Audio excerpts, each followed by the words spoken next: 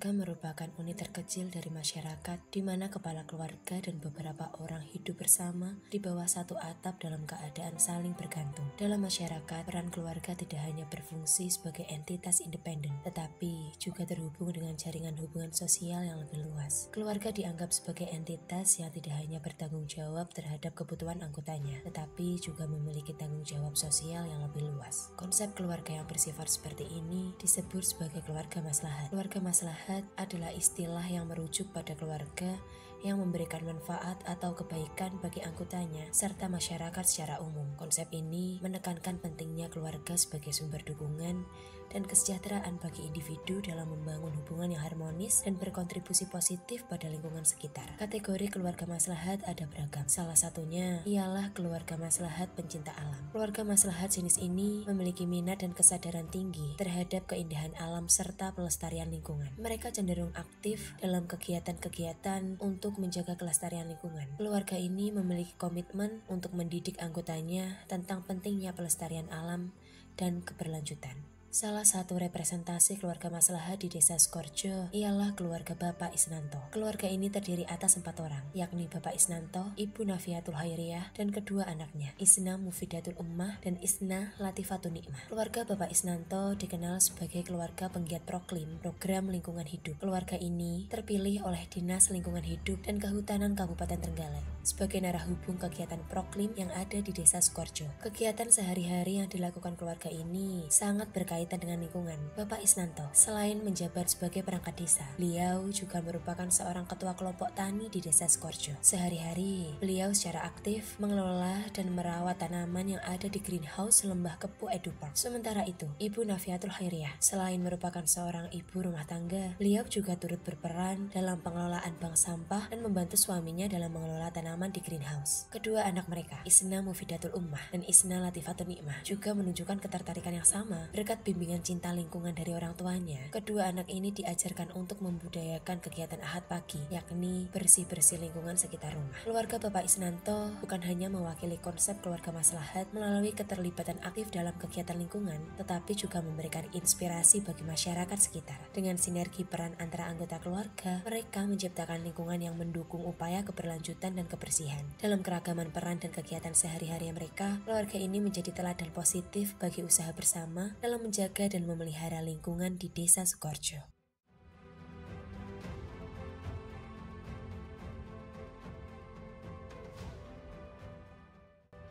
Arti lingkungan menurut keluarga saya adalah sesuatu yang bisa menunjang untuk kebersihan hidup itu yang pertama. Yang kedua adanya wahana yang setiap hari kita laksanakan untuk sebuah kegiatan yang bisa menunjang untuk kepentingan hidup. Untuk lingkungan bagi keluarga saya itu sangat penting sekali. Pemasalahannya apa? Contoh yang sangat kecil ada lingkungan di sekitar kita. Untuk kehidupan kehidupan kebutuhan sehari-hari, kita ini membutuhkan lingkungan yang sangat bersih, kemudian lingkungan yang sangat sehat, ketiga kalinya ada lingkungan yang bisa menopang ekonomi lingkungan yang sangat bersih itu artinya dibiasakan untuk hidup bersih. Karena bersih adalah pangkal kesehatan. Yang kedua kalinya lingkungan yang menunjukkan kesehatan itu adalah upaya lingkungan yang bisa mensejahterakan mengawali dari kehidupan keluarga. Terus untuk bisa mensejahterakan keluarga apa? Semisal ya kebutuhan lingkungan eh, kebutuhan hidup sehari-hari kita tergantung kepada lingkungan keseharian kita Contohnya ketika kita membutuhkan uh, makanan atau katakan kebutuhan hidup sehari-hari semisal untuk sayur-sayuran kita juga meningkatkan memanfaatkan lingkungan yang ada. Baik itu lingkungan dalam rumah tangga atau lingkungan dalam bermasyarakat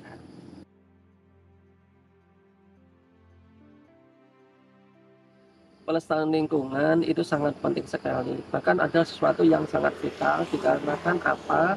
Lingkungan adalah faktor yang sangat mendukung untuk kelestarian kehidupan.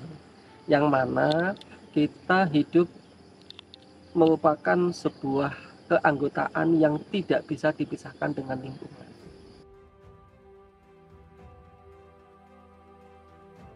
kegiatan saya hari minggu itu menyiram sayuran bunga-bunga menanam terus ya mulai kalau saya minggu pagi itu untuk bersih-bersih biasanya ya adik-adik sama ibu juga kita bantu siram-siram bersihkan anakku ngepel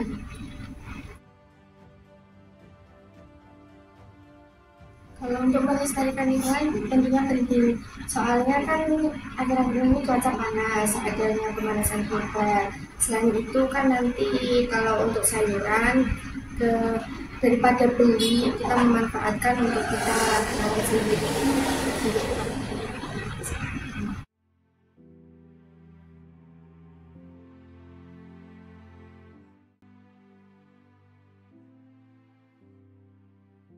Pesan saya dikarenakan sebuah masyarakat itu berawal dari keluarga. Kita mengutamakan lingkungan di keluarga sendiri kita upayakan. Kita memiliki slogan rumah hijau. Ya. artinya apa? Oksigen yang kita butuhkan sehari-hari kalau bisa kita upayakan untuk kehidupan di lingkungan kita. Kita tanam satu pohon dalam rumah tangga terus kita tanam polybag dalam rumah tangga. Kita tanam keindahan dalam rumah tangga semisal ada bunga-bungaan walaupun dalam hal ini tidak memiliki uh, sifatnya yang ekonomis. Artinya bukan sesuatu yang harus kita jual tapi kita manfaatkan untuk keluarga. Ini sangat penting sekali dikarenakan apa? Akan bisa mendongkrak ekonomi masyarakat semuanya. Semisal begini aja contoh yang paling simpel ketika kita keseharian kita membutuhkan lombok, membutuhkan sayur-sayuran, semuanya sudah tersedia di dalam lingkungan kita. Hal ini kita tidak perlu mengeluarkan uang yang banyak. Yang kita dapatkan adalah sayur-sayuran yang sehat, kebutuhan makanan yang sehat.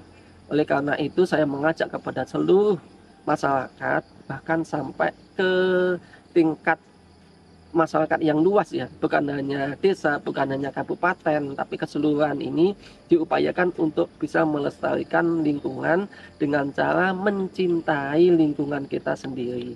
Dalam arti menanam pohon tersebut untuk bisa mendapatkan oksigen yang sehat, menanam sayur-sayuran untuk bisa mendapatkan makanan yang sehat, untuk bisa menciptakan pengurangan pengeluaran biaya keuangan dikarenakan apa? Semakin dari kita membutuhkan kebutuhan hidup akan semakin bertambah.